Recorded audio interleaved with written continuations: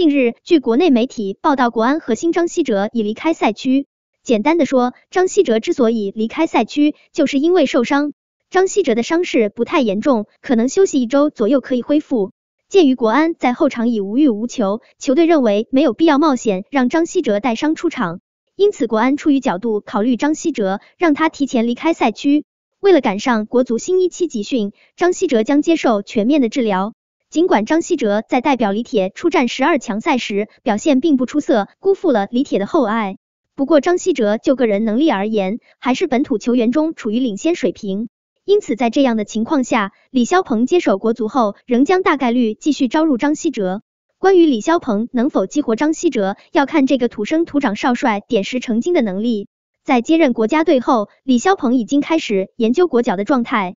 李霄鹏因为工作时间紧、任务重，所以无法考察新人。在十二强赛中，李霄鹏将会更多的依靠那些拥有大赛事经验的球员。在国家队参加四十强赛和参加十二强赛的比赛中，张稀哲有着丰富的大赛经验，因此在这样的情况下，张稀哲入选李霄鹏国家队就不会有悬念了。在完成国家队的比赛任务之后，张稀哲返回国安，对张稀哲代表国安参加联赛的比赛进行客观的分析，也没有给国安带来什么感觉。以前张稀哲在国安属于中锋大腿，在球队比赛停滞不前，经常上演进球如麻的好戏。那时候，张稀哲除了进球外，还能送出助攻。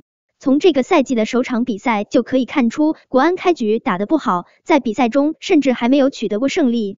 对于这一点，国安主教练比利奇也遭到了球迷的质疑，让许多球迷认为他应该下课。紧要关头，张稀哲挺身而出。张稀哲在国安与大连队的比赛中上演了一场传射俱佳的好戏，让国安拿到了胜利。